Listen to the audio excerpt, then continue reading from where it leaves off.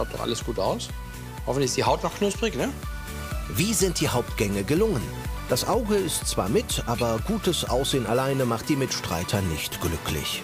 Also mit dem Trüffel wurde nicht gegeizt. Das sieht echt toll aus. Wir haben ja jetzt bei der Hauptspeise wieder Trüffel. Stimmt. Nudeln mit Ravioli mit ähm, Pilz und Sahne und Trüffel. Man merkt sofort, dass diese Raviolis hausgemacht sind. Sie haben einen kleinen Biss und die Füllung, die ist wirklich ganz wunderbar getroffen.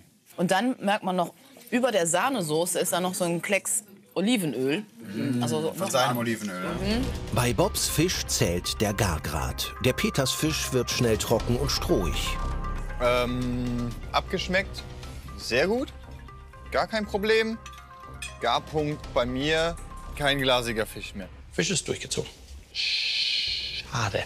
Die Haut, mh, sie ist leicht labbrig geworden, auf jeden Fall, hat ein bisschen Feuchtigkeit gezogen. Das lag wahrscheinlich an dem Holdomaten. Zweite Mal schade. Lapprig. Was haben wir sonst? Frisches Gemüse, leicht angeschwitzt, schön natürlich noch mit dem Krog. So kennt man es aus Italien, das ist für mich Italien. Die Soße, ein Traum. Die Hummerbiss, wir haben uns das angeguckt, auf höchstem Niveau gemacht. Sehr schön, weil nur der Garpunkt hätte ein bisschen schöner sein können. Abgeschmeckt ist wunderbar. Wenn du dann mal so einen tollen Fisch hast und der ist einfach drüber. Ahnt Ernesto was? Ich denke, dass sie alle zufrieden sind und dass alle gern gerade geglückt sind. Also es war Fisch und Fleisch, also es kann, war nicht so viel. Und? Wie sieht's aus?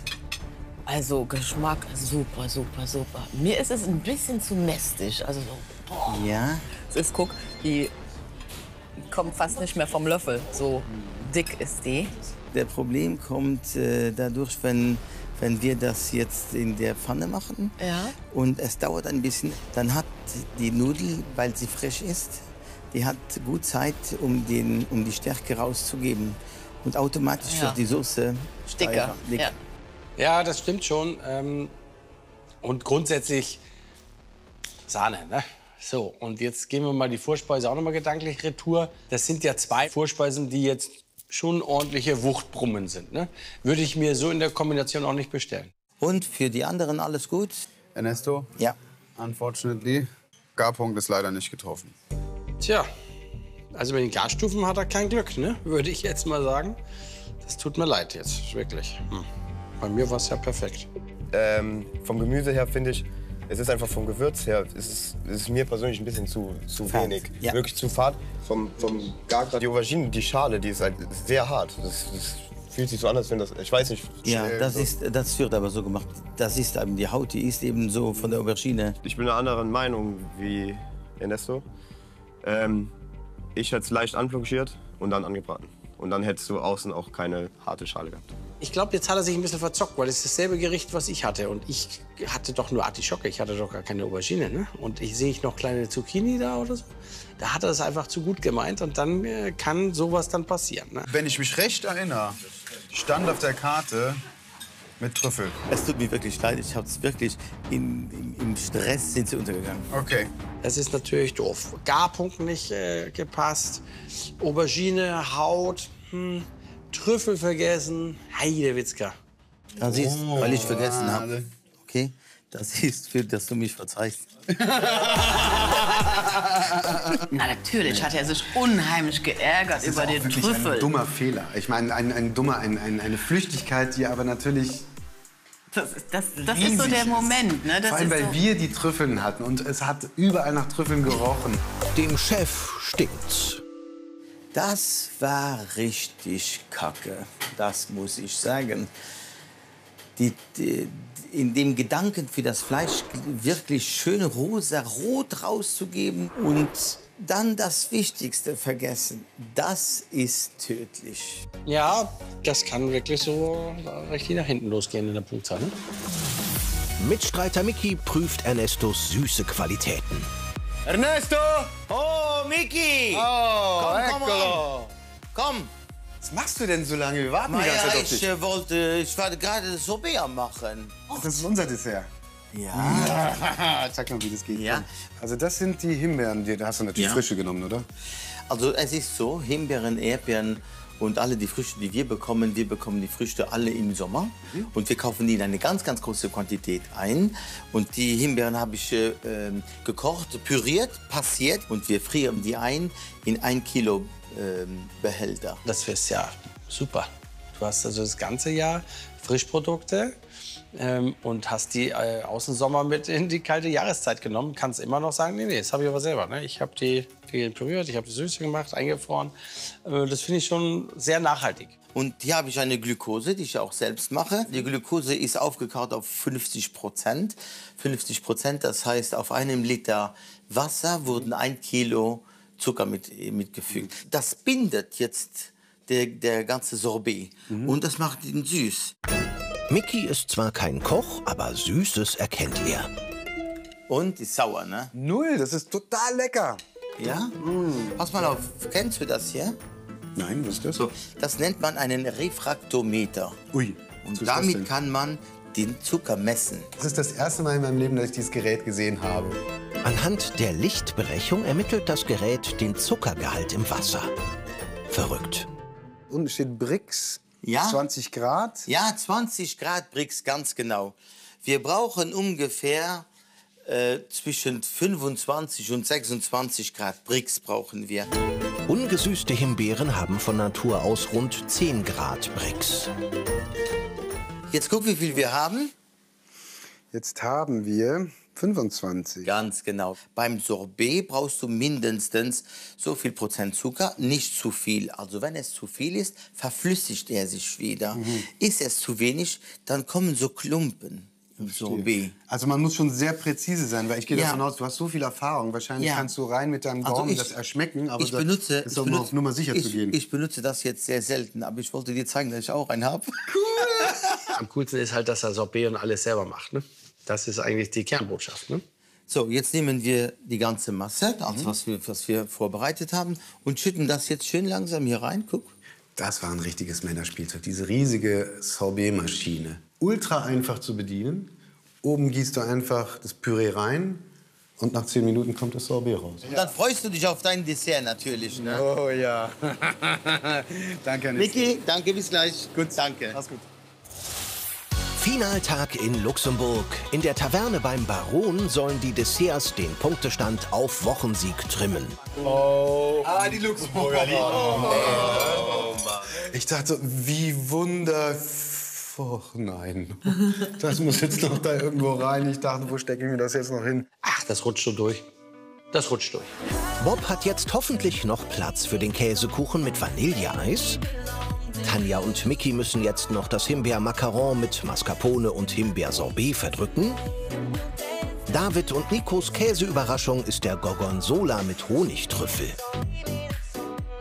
Er haut noch mal einen raus jetzt, oder? Das äh, vom Hauptgang, das hat den motiviert, um noch mal richtig äh, Gas zu geben, oder?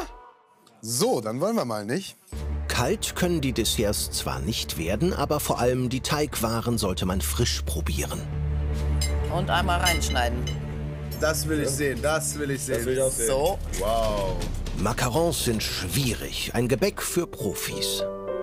Von der Konsistenz her war das Macaron perfekt. Man sieht, das ist Handarbeit. Das Macaron ist hausgemacht. Das schmeckt man, das sieht man. Äh, schon allein habe ich nie vorher so große Macarons gesehen.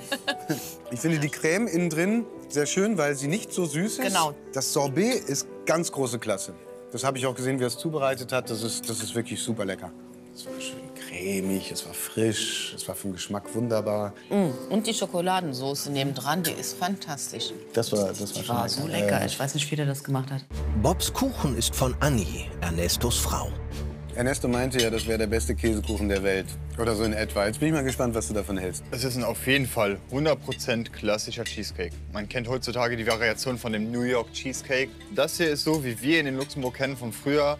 Einfacher Quarkkuchen, Käsekuchen. Der Käsekuchen, gemacht von Ernestos Frau. Ich weiß nicht, ob es ein Familienrezept ist oder ein Ernesto-Rezept, aber auf jeden Fall ein gelungenes Rezept. Ich meine, wer Käsekuchen frisch macht, äh, erstmal Respekt, großer Aufwand. Die Konsistenz vom Käsekuchen, Da sieht man halt schön diese Schmantigkeit. Das ist cremig in der Mitte, das ist leicht beim Anheben. Es ist auch vom Gargrad hat man auch beim Käsekuchen. Sehr schön, nicht zu lange drin gewesen, nicht zu trocken. Trotzdem eine gute Kruste, hat Farbe gekriegt. Für mich die Masse, der Käsekuchen, perfekt.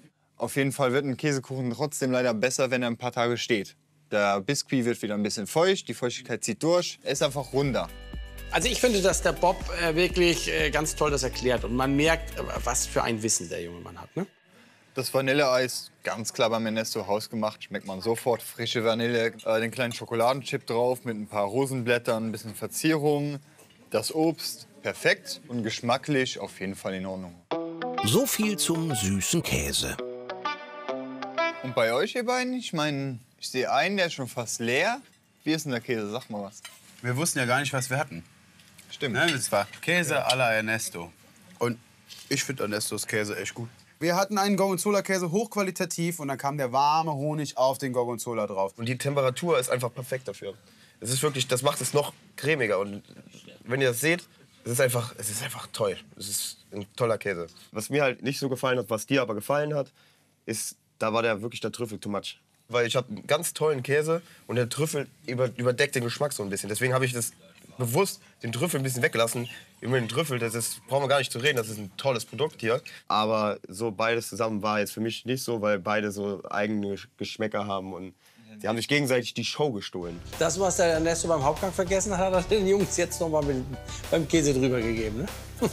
Mit seiner Taverne will Ernesto heute der große Gastrobaron von Luxemburg werden. Damit die Rechnung aufgeht, müssen auch die Preise stimmen. Hier ist die Rechnung. Ich lege sie in die Mitte. Ich hoffe, es hat euch gut gefallen, gut geschmeckt. Die Ravioli habe ich dann nicht gerechnet. Das wäre jetzt nicht nötig gewesen, weil das war nur ein bisschen schwerer, aber die waren ja im Geschmack. Absolut kein Sehr Problem. gut. Und dein Reh auch, habe ich gedacht, ich nehme eine runter von der Rechnung, weil das war schon ein, mit dem Trüffel, das hat mir richtig leid getan. Das ganze Gericht von der Karte hätte ich nicht gemacht. In dem Fall, er hatte seinen Fehler gut gemacht, hat seinen Fehler erkannt und der Fehler war quasi nicht mehr da. Zwei Gerichte direkt unternehmen, finde ich schon ganz schön viel. Ist der Abend jetzt ein Schnäppchen nach all den Preisnachlässen des Gastgebers? Gesamtbetrag ist 419,50. Wir haben für 240 Essen und für 180 Trinken. Naja, fehlen jetzt zwei Gerichte, ne? Einmal die Pasta und einmal das Reh, gell? Naja, gut. Schöne Geste, keine Frage. Als Gast freut man sich. Das ist ganz klar. Das ist vollkommen Das okay. ist für auf jeden Fall okay. Für die ähm, Qualität von, von Mattia Premier, von Grundmaterial und allem. Das ist kein gewöhnlicher Italiener. Nein. Das ist schon was ganz Besonderes. jeden Und ich Fall. denke, in dem Fall Es hat sich wirklich angefühlt so wie ein italienischer Abend bei einer italienischen Familie. Das ist kein Restaurant bei Ernesto. Das ist, äh, ja, das ist, das ist ein Gesamtkunstwerk.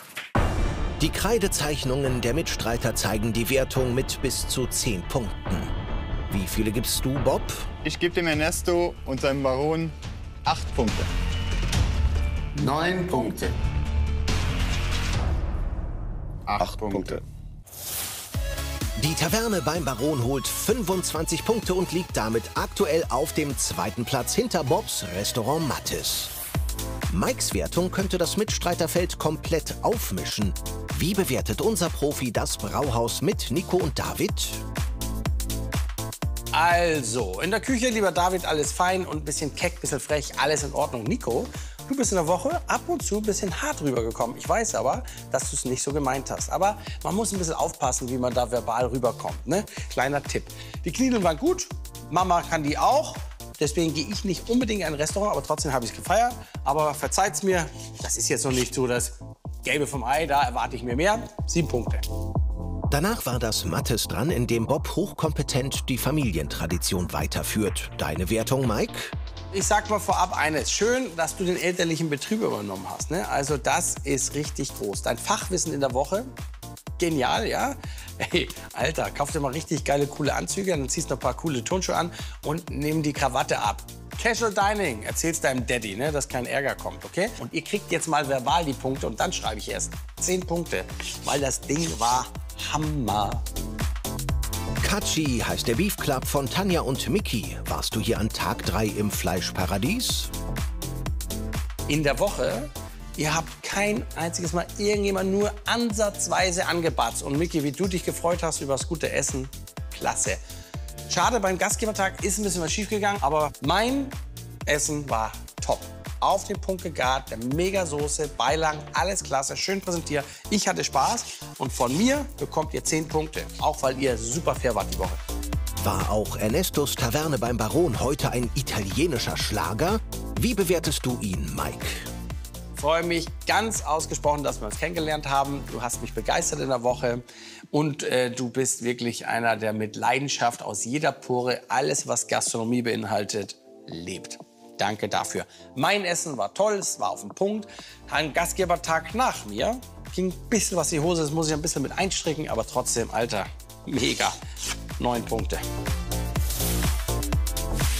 Mein Lokal, dein Lokal in Luxemburg. Wo schmeckt es am besten? Es ist mit 38 von möglichen 40 Punkten das Mattes.